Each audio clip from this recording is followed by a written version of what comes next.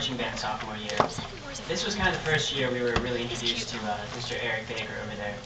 While the juniors, excuse me, the uh, current seniors knew who he was, and this is the most awesome guy you'll ever meet, all of us sophomores were, who's this guy who's cheering for Howland? I don't think I've ever seen him in the high school.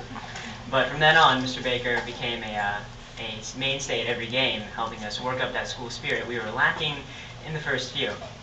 Um, our theme for marching band was spies, lies, and bad guys in disguise, which could be the best rhyme I've ever heard in marching band. Um, so a few of the songs we played were uh, Mission Impossible, which was notable for its 5-4 time signature. For all of those of you who are not in band, that means we had to march 10 steps instead of 8. And after, as Claire pointed out, we were drilled and drilled and drilled into marching 8 steps in 5 yards. It was an adjustment that not many of us could make. So we spent lots of time, many hours, and again violating probably some child labor laws, working on Mission Impossible. And in the end, the final part of the drill was an enormous snake that took up a great deal of the field. And those lines were supposed to be straight. Instead, it was more of a curvy line. And try as we might, we really could never straighten that out. Uh, another song we played was uh, Pon de Replay, which we played with the 8th graders. And Mrs. Moore knew three words to that song. Pon de replay. and the rest was just kind of a little bit of scatting, some random syllables and other such things. Um, and this was also the first year that we played the Final Countdown for Script Tigers, which set up a pretty long-standing tradition now uh, that we've continued this on. So in that year, it was kind of momentous. Um, also, one of the more notable events, at least in my personal experience uh, during this year, involved a microwave.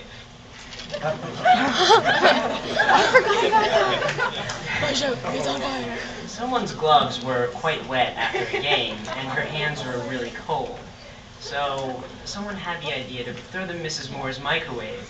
They would dry out and warm up. They did warm up, and they caught on fire. so Mr. Esbeck, reacting quickly, grabbed the microwave and just pulled it out of the socket and ran across the hall outside the entrance and just threw it on the ground. and as I stood there watching along with several other people, we just couldn't understand what happened. to some extent, I still can't. So after marching band ended, and we were all quite sad, um, it got to symphonic band, and we began playing concert music. So one of our songs was called Creatures of Dreams. And at first we thought this might be a pretty cool song, because there were different parts that all described different sorts of animals. It wasn't. Everyone agreed on that, including Mrs. Moore. So it came to the point where we were just hoping for contests so we could stop playing this song. And in fact, it seemed fate was with us as well, for in the pre-contest concert, we had two bassoons. They had a very important part in one of the movements. And lo and behold, that day, they both got sick.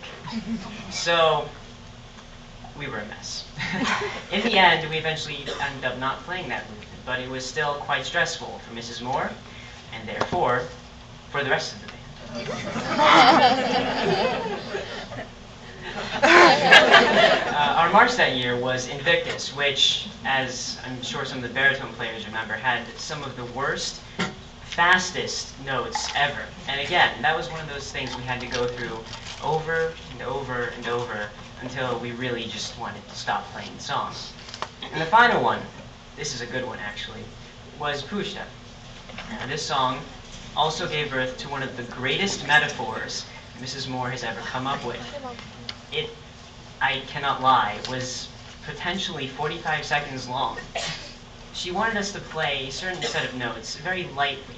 So she described it as, think of the gypsies prancing through the fields, carrying their buckets of milk. And we can't let that milk go sour. Can we? It went on a little longer, but I'll leave it at that. She looked at me so I was Um, flat. after that, we had gotten to one a district contest, which is very exciting, and the choice came up whether to play at States or not.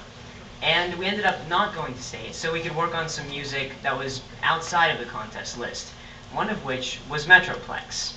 Now, those of you in symphonic band that year will remember that was also a really fast, really complicated piece. Again, we worked on it, and worked on it, and worked on it. And we also had a piece known as Trail of Tears, which was supposed to represent the Trail of Tears the Cherokee Indians went through, with authentic Indian sounds, Native American sounds, I mean, such as Didish Konk Yoni Iwasu. And at one point, Mrs. Moore was again in the midst of one of her metaphors, and she needed to know what a male Indian was called. So, perhaps foolishly, she asked the band, Band, what do you call a male Indian?